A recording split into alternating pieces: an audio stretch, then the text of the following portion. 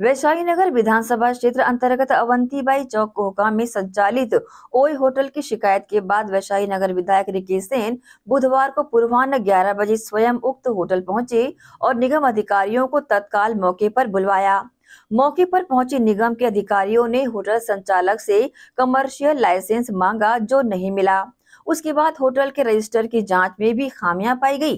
विधायक रिकेश सेन के निर्देश पर तत्काल ओय होटल को सील कर रजिस्टर को जब्त कर लिया गया।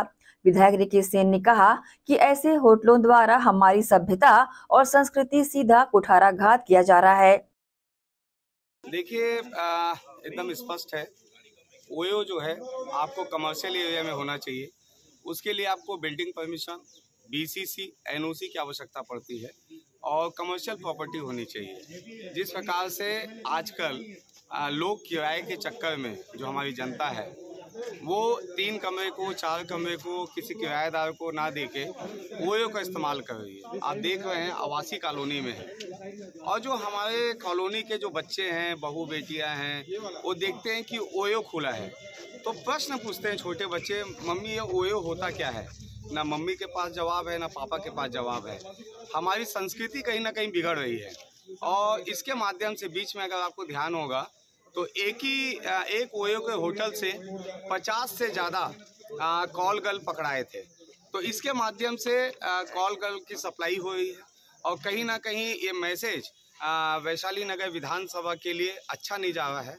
और मैंने पहले भी कहा, सड़क नाली बना देना ही विकास नहीं होता है। सर्वांगीण विकास करना है, हर क्षेत्र में विकास करना है। और ये जो है, हमारे क्षेत्र के लिए नासूर बना हुआ था, जिसको आज शुरुआत हो गई है।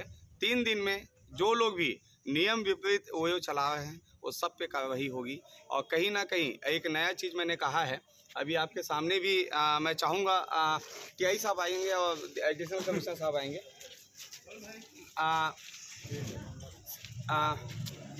के आई साहब जितने हमारे वो हैं ओयो जो लीगल रूप से भी चल रहे हैं उसके बाद क्योंकि अभी देखे हम लोग सुपेला थाना के अंतर्गत पचास से ज़्यादा कॉल गल पकड़ाए थे।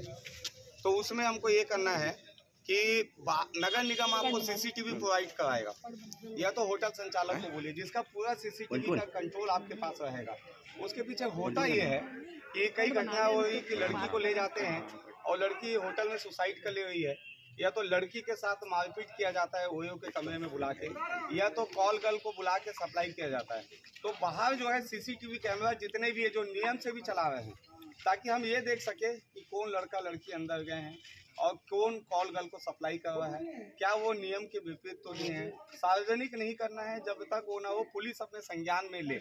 और ये नगर निगम, हम आपको प्रोवाइड कराएँगे सीसीटीवी कैमरा और होटल संचालक को भी बोलेंगे कि आपको जो है ये काम करना है। आपको कैमरा लगाना है, जिसका पूरा नियंत्रण आपके मोबाइल पर रहेगा वाईफाई के माध्यम से, जिसको आप एट ए टाइम देख सकते हैं। तो ये काम करना हमको बड़ा आवश्यक है।